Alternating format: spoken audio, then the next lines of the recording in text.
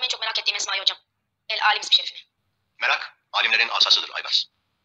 Allahü Teala hem merakınızı hem de ilminizi artırsın. Amin. El Alim Celle Celaluhu.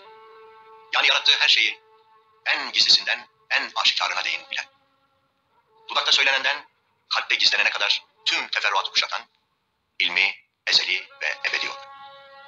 Yüce kitabımız Kur'an-ı Kerim'de Allahü Teala'nın ilk buyruğu şöyledir. Estaizu billah, ikra. Yani oku. Ben de kitap okumayı çok severim hocam. Maşallah Aybars. Lakin bu oku emrindeki tek kasıt kitap okumak değildir. Ya ne okumaktır hocam? kainat nizamını okumaktır.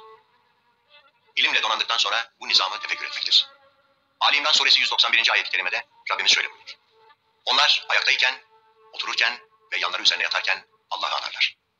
Göklerin ve yerin yaratılışı üzerinde düşünürler. Rabbimiz, sen bunu boşuna yaratmadın.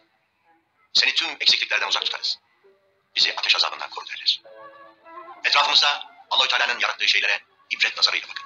Canlı ve cansız tüm mahlukatta Allahü Teala'nın El Alim ismi şerifinin tecellisini göreceksiniz. Mesela uzuvlarınız nasıl kusursuz bir muvazeneyle yaratılmış değil mi? Kulaklarımız duydukları hususunda biraz daha hassas olsa etrafımız gürültüden çekilemez bir hale gelirdi.